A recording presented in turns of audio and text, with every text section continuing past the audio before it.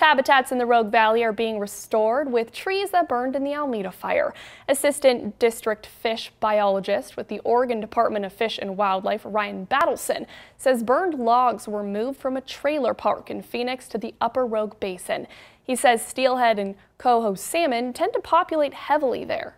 I see this as, you know, an area that was just decimated from wildfire and to be able to bring bring those logs to a site that we are trying to restore and rehabilitate and create some good things for wildlife and, and our native fish. It's been really cool. The habitat they're trying to rehabilitate is currently hot and shallow. The logs will help slow down the water, provide shade, and create deep pools of water for the fish to repopulate in.